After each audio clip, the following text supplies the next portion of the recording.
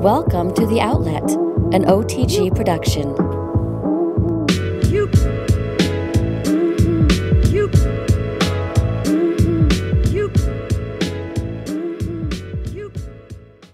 What's up, NBA fans? Welcome to another edition of The Outlet. I'm Nick Fay. With me, as always, Parth. Hey, Nick, what's going on? What's up, Parth? I'm getting ready for this podcast. Got some exciting stuff to talk about today. Yeah, let's get into it, man. Yep. So, first off, we're going to talk about our favorite player to watch in the NBA right now. For me, it's got to be it's got to be Russell Westbrook. And it's he's so explosive. You you have to take the good with the bad when it comes to him. It might not always be a uh, pretty picture, but you know it's going to be fun to watch. So it, it it's it's Westbrook for me by far. I know Curry's up there too, but Curry just doesn't have the explosion. He his game's a little bit different, and I really enjoy watching Westbrook explode to the rim and dunk on Andre Drummond or whoever he's going to dunk on next. It's uh it's a really fun watch. Yeah, Westbrook is an explosion. I'd say at the end of last season, it would be Westbrook 100%. He's starting to get back to that right now with Kevin Durant out. But I'm going with Steph Curry just because you never know when you're watching Steph. He can just explode and just store, scoring threes out of nowhere. So I like watching him. He's exciting right now. I don't think he'll keep maybe keep this pace all year, but I'm going to enjoy it while I can. I think the majority of the public would agree with you on that. Uh, he's been he's been incredible to start the year. I just think Westbrook he's more he gives you more on the offensive rebounds. Him going for offensive rebounds and flying out of nowhere and grabbing them is uh is crazy to watch. I just can't I just I don't have any more adjectives to uh add to his game. It yeah. might not always be good, but it'll always be exciting. It's definitely close though because I enjoy watching Westbrook a lot too because like you said he's so explosive. One step in the paint and he's up there for a dunk slamming on seven footers. But we're going to get into something a little bit different this week. We're going to do a little fact or fiction. So we're going to bounce uh, hot topics across to each other. So first off, is Andre Drummond the best center in the NBA? That's fiction. It's it's DeMarcus Cousins. They had a matchup this past week, and Cousins thoroughly outplayed him. Uh, Drummond is good. Uh, he's a double double machine, 20 20 threat every night, but it's I gotta go with Cousins. I'm going to go with you on that as well because Cousins definitely showed us a lot this week. He had a crazy game against the Nets, the Kings, I mean, against the Pistons. So, Cousins for me. Drummond just needs to keep adding to his game if he wants to get to the top. Correct. All right, Nick. Is Steph the best player in the NBA? Fiction. Steph is playing at the highest level right now, but I don't think he's the best player in the NBA. I'm still going with LeBron James.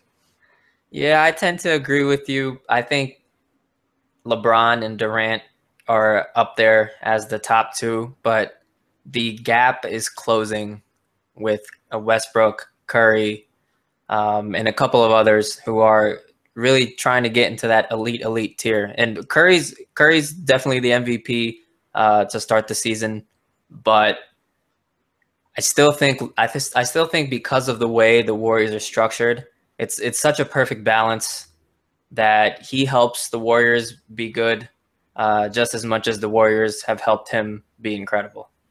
Yeah, that the system definitely works for him for sure. All right, another one for you. Is Kristaps Porzingis going to be the best player out of this draft class? That's a fiction. It looks like uh, Karl-Anthony Towns is going to end up being the best player and I think I think Porzingis is amazing though. His his he's been super entertaining too. If he just got a if he just got some better passes, uh, he would have a game winner in Very his uh, in his bank. So I, I'm going with Towns, but I think Porzingis might be a solid number two out of this class. Yeah, um, I didn't want to agree with you on all these, but I'm going to go fiction as well because I think Towns has definitely showed a lot. He showed a lot of potential. He's already rebounding at a high rate. He's already had a couple, I think, 20 and 10 games, and I've been impressed by his defense. But Porzingis has been great, especially those putback slams. I don't think no anybody really expected him to be this aggressive early on, and he's really showed a lot. All right, Nick, is Kobe hurting D'Angelo Russell? Uh, this is honestly a tough one, and I'm going to go fiction because I think having somebody, yeah, Kobe's minutes might be hurting the team a little bit, but just having his uh, personality around and his work work ethic is definitely helping the team and helping a young player like Russell. Yeah, I agree with you uh, there too. I think D'Angelo Russell has to earn his minutes, and he'll. I know people are complaining on Twitter about him not being able to develop to develop if he's not in the fourth quarter with Kobe Bryant playing those minutes. But I think at, at an early age in the NBA, you develop more through practice, and that's where I think the I think that's where I think Kobe mentoring uh, D'Angelo will really help him improve his game, and then eventually towards the end of the year, similar to what Jordan Clarkson was able to do last year, D'Angelo Russell will be a lot better. Yeah, Clarkson definitely picked up at the end of last season. All right, another one for you. Do the Cavs still own the East? I'm going to say that's a fact. They've looked really good so far, and they have a top 15, maybe top 10 player coming back in December. I don't think anyone is getting in their way in the regular season. In the playoffs, this team is a little injury prone. Uh, Kyrie Irving, as we all know, is injury prone. So, I mean, anything can happen once you get into the dance. But as of right now, the regular season, they own it. Yeah, that's definitely a fact for me as well. The one thing about the Cavs that always that's exciting is they had just have like another gear. They'll be losing all game, and then the fourth quarter they just all of a sudden turn it up. And like you said, they're getting back Kyrie Irving, so and they'll get back Shumpert as well. A nice little pieces for them to get even better. Right. One thing one thing to watch for though is LeBron's back. Back issues are never a good thing. It, it really took away Tracy McGrady's uh, career when he dealt with his back and knee issues. So if LeBron's back is hurting, he's probably going to compensate and uh, something else, another uh, joint is probably going to take a brunt of the punishment, trying to make up for what his back isn't able to take. Exactly, and your back kind of just like locks everything up if it really starts to get bad. So you definitely want LeBron to keep an eye on that. All right, Nick. Will the Warriors win more than 72 games and be the all-time winningest team for a season? Uh, fiction. I I don't think the Warriors are going to do it. I think too many things went good for them last year, and they didn't really have any injuries. I know Bogut's been banged up, but I'm saying like if Curry has to miss games, even Klay Thompson may miss an extended stretch, or even Draymond Green or Harrison Barnes, I think it could hurt them. Yeah, I agree with you there. I don't think they'll uh, win more than the 95 96 Chicago Bulls. Just because, like you said, it was so perfect. It was a magical season last year. And I know it's been magical so far this year, but Klay's Klay's uh, currently dealing with back stiffness, and that's never a good thing. Like we just talked about with LeBron and back issues. So exactly. I think I think with Thompson going going down, this team is really talented throughout, and people like Harrison Barnes can pick up the slack. But I think doing more than what you're capable of will end up leading to injuries to other players. So I don't think it's going to be a coasting sort of season for the Warriors like it's been so far. Yeah, uh, definitely. All right. Are the Rockets uh, the Rockets aren't going to make the playoffs? This is tough. Uh, I'm going to go with fiction. I have to I have to put my chips on the table with James Harden. I feel like he he hasn't been good so far. The the Rockets in general haven't been good. They're middle of the pack offensively.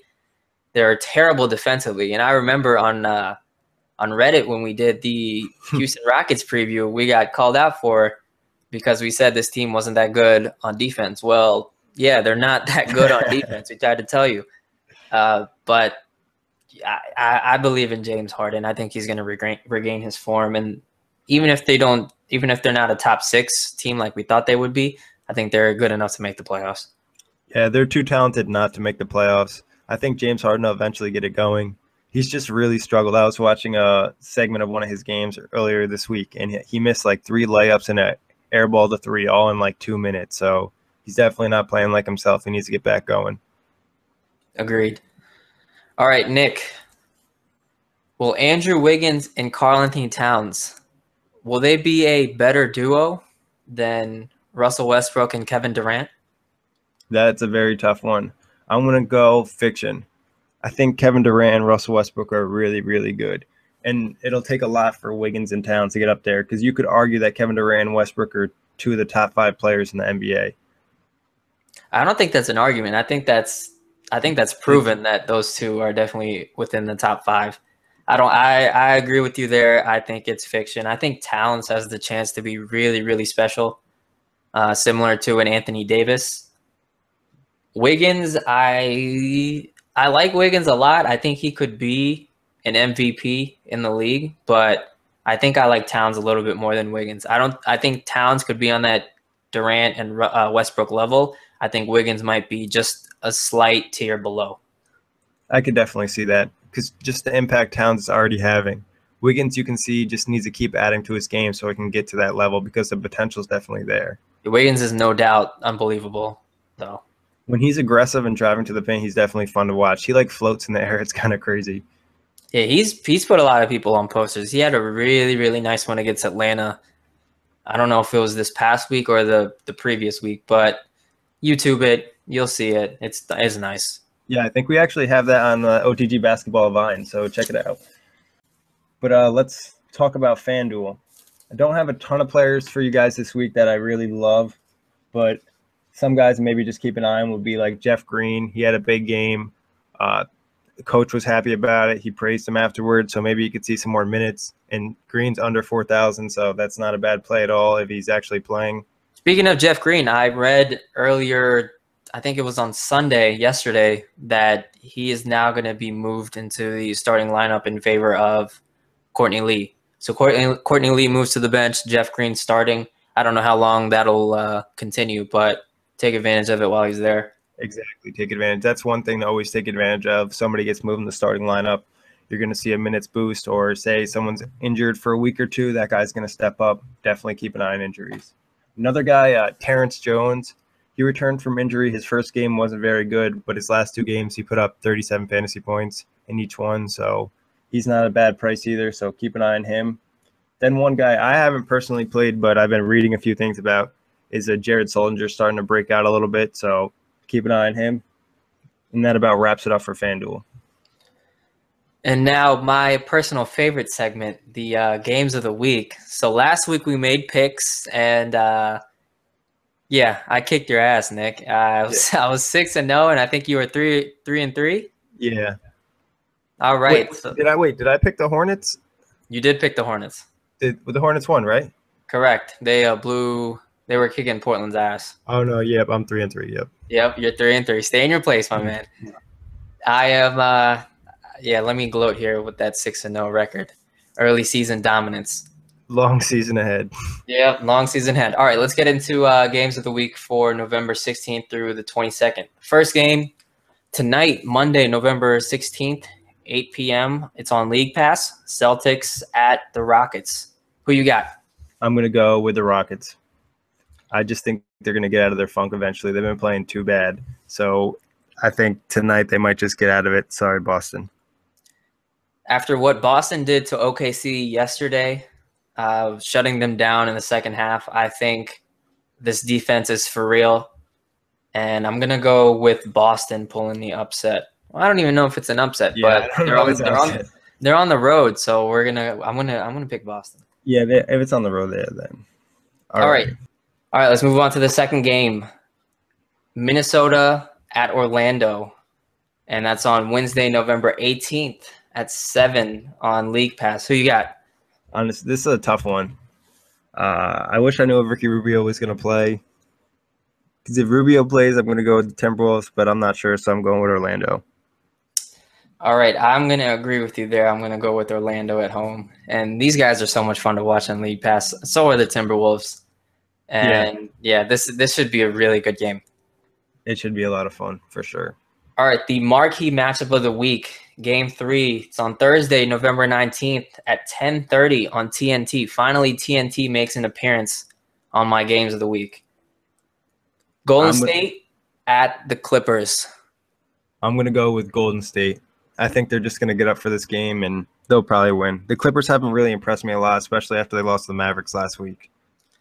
So I'm hoping that Chris Paul is back to close to 100% by uh, game time on Thursday. So I'm going to say the Clippers finally put a blemish on the Golden State Warriors record uh, and get their first uh, and give them their first loss. So I'm going with the Clippers. Fourth game on Friday, November 20th at 8 p.m. on League Pass. The New York Knicks going to Chesapeake Energy Arena and face the Oklahoma City Thunder. I'm gonna go with uh, OKC. I don't see anybody on the Knicks containing Westbrook. And I feel like Kevin Durant will be back for this game. Uh, Yeah. He said he's he said he's feeling a lot better, so I'm gonna go with OKC as well. All right, the fifth game, the Atlanta Hawks at the Cleveland Cavaliers on Saturday, November 21st, 7:30 on League Pass. Who you got? This is another tough one, honestly. Uh, I'm gonna go with the Cavs because they just lost already to the Bucks over this weekend. So I think LeBron called out his team. They should be playing better this week. Yeah, I'm gonna say. I know I talk about this on the uh, on the actual article, but I think Al Horford's three point shot is gonna make a difference in terms of spacing this time around, um, and they'll win at the Q. So I'm going with the Atlanta Hawks. Okay. And then the final game, Phoenix Suns at the New Orleans Pelicans, Sunday, November 22nd, 6 p.m. on League Pass. Yeah, this is a tough one too because you think the Pelicans would win if they're actually playing how they're supposed to, but they're not. So, uh, but I'm still gonna go with the Pelicans because I think they'll probably start to win games eventually. All right, I think the Pelicans stink, and I'm gonna go with the Suns. I really like the way Eric Bledsoe's playing. He's Phoenix is back to uh, what they were two years ago in terms of being uh, fun to watch. One thing about Eric Bledsoe, I really like him in FanDuel tonight. He plays the Lakers, so I would go with him. Monday night, Eric Bledsoe, put him in your lineup. All right, just a quick recap of who we picked. You have the Rockets, Yep. Orlando beating Minnesota, Golden State beating the Clippers, OKC beating the Knicks, Cleveland beating the Hawks, and the Pelicans beating the Suns. And I have Boston, Orlando, the Clippers, the Thunder, the Hawks, and the Suns. So we uh, disagree on a lot of these. We only agree on We one. agree on only two of them. So depending on how this goes, you might you might take the lead in uh, the overall rankings. yeah, very true. So enjoy it while you can. But that wraps it up for today. Thank you guys for